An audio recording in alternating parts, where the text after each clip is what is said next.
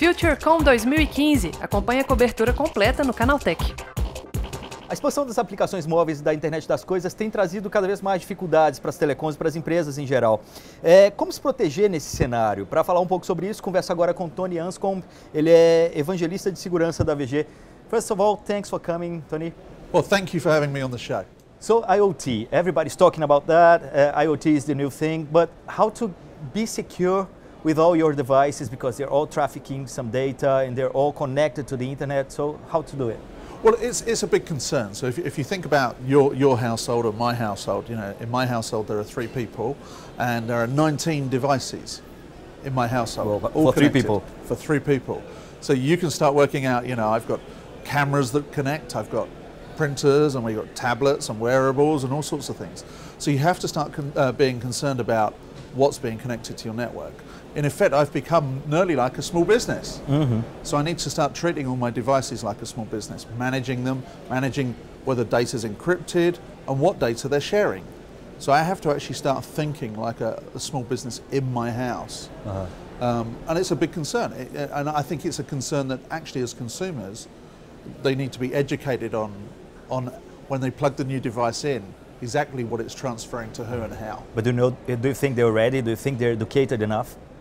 I think the awareness. I think the awareness of security and privacy is in the media a lot now.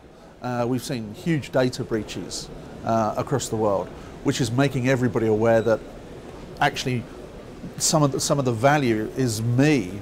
The, the you know what companies actually know about me. Mm-hmm. But I think like for me, it's an idea. 2014 was like a year with loads of cases related to uh, lack of data and security issues. Is it true? Are, are the, the, the, bad guys being more smart, or are the white guys less smart than, than they should be? Now, let's be clear. I mean, the bad guys are a business.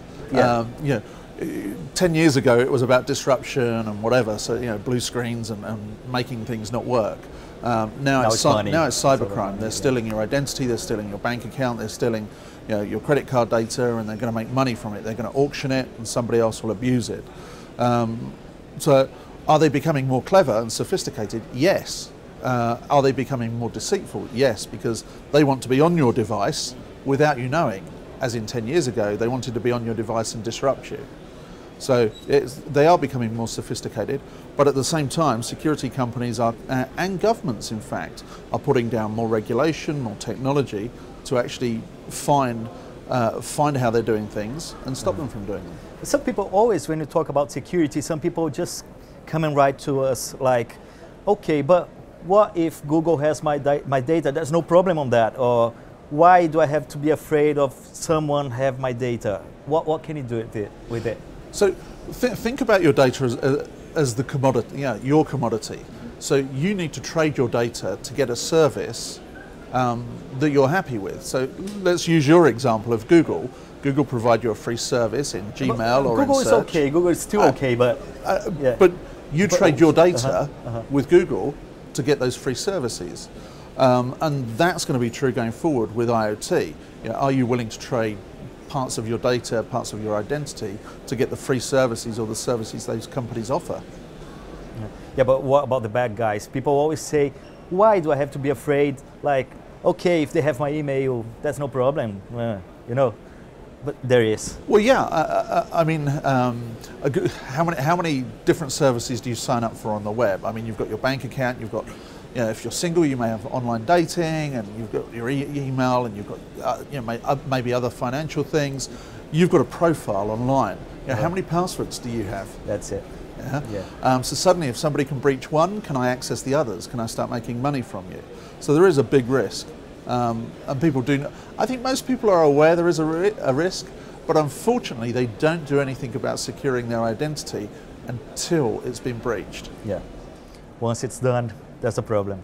You said uh, you had to cope with your house like a small business because there are 19 devices connected. But what about small business, small businesses? Do you think they're, they're looking to the security side as much as they should do? Yeah, I think small businesses are, are very conscious. Um, if data breaches don't just happen in big companies, so the threat is there in the smaller companies as well. And there's good data to back that up. Uh, certainly in the US, I think se around 70% of small businesses say they've had some form of issue. So there's a, there's a big awareness. Um, I mean, at AVG, we have some products that it, five years ago would have appeared like enterprise products. Uh-huh. Yeah, I talked about 19 devices in my house for three people.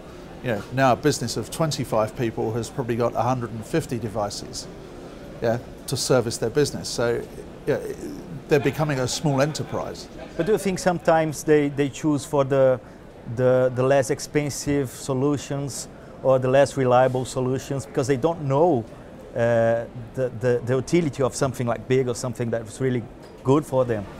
Well, I, th I, think, I think companies are now understanding that they need to manage all the devices and their data. Um, you know, one good thing about the media publicizing such big data breaches is that all companies then start thinking, am I secure? And in thinking, am I secure, you're raising the awareness and, and probability that they're going to do something about it. Do you already see an increase related to IoT nowadays? We see an increase of companies uh, adding more and more devices to their networks. So, for a good, great example of that is BYOD. You know, a lot of members of staff bring in their own mobile phones and connect to corporate networks. How do you how do you manage all the data on those devices? How do you delete it if the device is lost? What happens when the employee leaves? Uh, and those are some of the tools that we provide small businesses. And also, uh, like in real-time world, things go, uh, change real fast, right? So you're talking to me about AVG. There's no like a uh, release every year now. It's like release, constant release. Yeah, so we've made the decision at AVG that actually, you know, one, we want to bring out features when they're ready, uh, but two, also as a consumer or a business, you should stop being concerned about version numbers and 2015, 2016, or whatever it is, and actually you should just be concerned about being secure. Um, so we've taken the version numbers off and the products will automatically upgrade as the year goes on. All right, Tony. So thank you very much for coming over. Thank you very much.